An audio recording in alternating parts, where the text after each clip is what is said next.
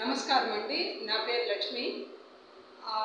ఇప్పుడు దేవి శవర్ణవరాత్రులు జరుగుతున్నాయి. అలాగే శివయ్య ఈశ్వరమ్మ తల్లి దుర్గమ్మ తల్లులు వాళ్ళ కథలు పురాణం కాస్త చెప్పుకుంటే మంచిదని చెప్పినని నేను మీతో ఈ విషయాలు పండగలు వాటి గురించి దేవుడి గురించి మీతో నేను షేర్ చేసుకుంటున్నాను. ఇకపోతే పూర్వము కుంతల దేశం అనే దేశం ఉండేది ఆ దేశంలో ఒక బ్రాహ్మణుడు ఉండేవాట. శ్రీనిధి అనే బ్రాహ్మణుడు. ఆయనకి లేక లేక ఒక సంతానం కలిగాడు. అతని పేరు మదాలసుడు అని పేరు పెట్టుకొని ఆ బ్రాహ్మణుడు పెంచి పెద్ద చేసుకుంటూ వచ్చాడు.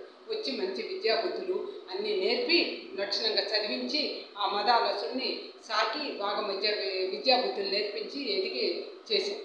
చేసి అట్లాగే ఆ దేశంలోనే చంద్రకళ అనే అమ్మాయితో పెళ్ళి చేశాడు. చంద్రకళ కూడా మంచి సౌందర్యవతి ఇచ్చి పెళ్ళి చేసి సుఖంగా కాలం గడుస్తూ ఉంటే ఈ మదాలసుడు ఏం చేస్తాడు? స్నేహితులతో దురభ్యాసాలకు లోనవుతాడు. అయిపోయి ఇంట్లో ఉండే సొత్తు సొమ్ము తీసుకొని పోవటం ఖర్చు పెట్టడం ఇట్లా చేస్తాడు.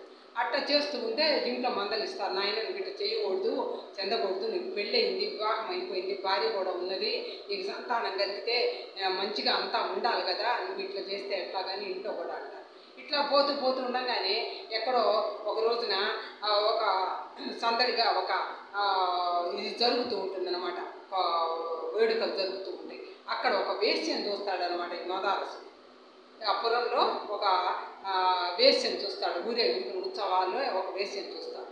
చూడగానే ఆమె మీద మనసుపడి ఏం చేస్తాడు ఈ మదారసుడు? ఆమెతో పడిపోతాడు.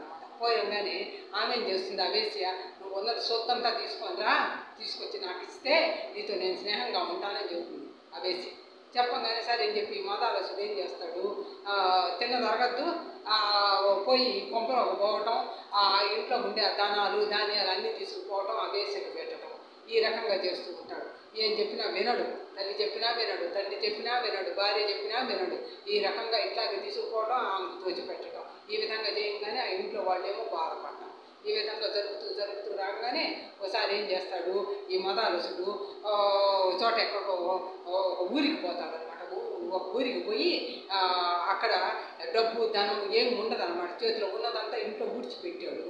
ఊడ్చిపెట్టి ఇంక ఉత్త చేతులతో ఊరికి పడిపోతాడు అనమాట ఊరికి పడిపోగానే అక్కడ ఏమవుతుందంటే ఎవరు తెలిసిన వాడు చూసి అయ్యో అయ్యయ్యో ఈ మదాలసుడు ఆ బ్రాహ్మణుడు కొడుకు కదా అని చెప్పి తెలిసిన వాడు తీసుకుపోయి వాడి ఇంట్లో పెట్టి సేద తీర్చి ఆశ్రయం ఇస్తారు ఆశ్రయం ఇవ్వగానే ఉన్నవాడు ఏమైనా కుదురుగుండా ఉంటాడా? ఉంటాడు. మళ్ళీ దుర్బుద్ధి పుట్టుకొస్తుంది. దుర్బుద్ధి పుట్టుకొచ్చి ఆ ఇంట్లో ఉండే వాళ్ళంతా నిద్రపోతూ ఉంటే వాళ్ళ ఇంట్లో ఉండే సొమ్ము సొత్తు మొత్తం చీని చెంబరాలన్నీ దొంగిలించుకొని మూట కట్టుకొని మళ్ళీ పడిపోతాడు మళ్ళీ పడిపోయి అడవిలో పడి అక్కడికి పోయి కూరపడతాడు నీరసం వచ్చి కూరబడి ఆ, పడంగానే ఏమవుతుంది?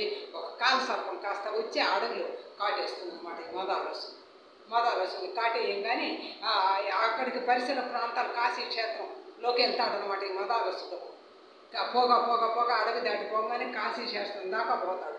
కాశీ క్షేత్రం దగ్గరికి పోయి ఆ అడవుల దగ్గర అక్కడ పడి ఉండగానే ఈ కాసర్పం వచ్చి కాటేస్తుంది. కాటేయంగానే ఏం చేస్తాడు? ఆ మతాలసులు కాస్త ప్రాణాలు కైలాసానికి చేస్తారు ప్రాణాలు పోతాయి. ప్రాణాలు పోగానే అప్పుడు యమకింకర్లు యమతోతలు వాళ్ళు వస్తారనమాట అక్కడికి వచ్చి పాశ వేసి వీడిని ఎన్ని పాపాలు చేశాడు? దొంగతనాలు చేశాడు? దోపిడీలు చేశాడు? ఆ, ఇంట్లో ఎవరిని సుఖపడినివ్వలేదు? ఈ రకంగాను ఏం పుణ్య కార్యక్రమాలు చేశాడని మిమ్మల్ని వైకుంఠానికి పంపాలా? తోలుకుపోతాను రండి. యమలోకానికి అంటూ పాశాలు తీసుకొని యమకంకారులు అందరూ వచ్చి చేరతారు. చేరంగానే అప్పుడు మహాశివుడు అక్కడ ప్రత్యక్షమయ్యి ఒరే నాయన మీరెవరు ఆయన్ని తాకటానికి లేదు. ఎందువల్ల అని చెప్పినంటే వచ్చి కాశీ క్షేత్రంలోకి వచ్చి చనిపోయాడు ప్రాణాలు వదిలాడు. ఆ మహద్భాగ్యం వల్ల అతను పుణ్యవంతుడయ్యాడు. ఏ పాపాలు అతనికి అంటలేదు. ఒకసారి నిద్రతోటే ఆ కాశీలో చేసుకున్న అతను చేసుకున్న పాపాలన్నీ కూడా మొత్తం పోయాయి. ఈ కా ఈ క్షేత్రం మహిమ అలాంటిది. నాయన మీరు తాకటానికి లేదు. అతను నేరుగా స్వర్గానికే పెడతాడు అతనికి ఏ పాపాలు కూడా చేసినవి కూడా పోయాయి ఆయనకి. దేనివల్ల ఏంటి? కాశీ క్షేత్రంలో నిద్రించాడు కాబట్టి వచ్చి పడ్డాడు కాబట్టి ఈ విధంగా పోయాయి. మీరు వెళ్ళిపోండి అని చెప్పి ఆ యమక వెంకర్లకి ఆ శివయ్య చెప్పేస్తాడు చెప్పగానే విధంగా ఆయన అక్కడికి వెళ్ళిపోతాం. ఆ విధంగా ఇన్ని పాపాలు చేసిన వాడు కూడా ఏమైనా కూడా కూడా ఆ కాశీ క్షేత్రంలో అనుకోకుండా కనుక ప్రాణాలు వదిలితే దాన్ని కైవల్యం వేరే తప్పు ఏమి ఆ శివయ మహిమ ఆ ఈశ్వర మహిమ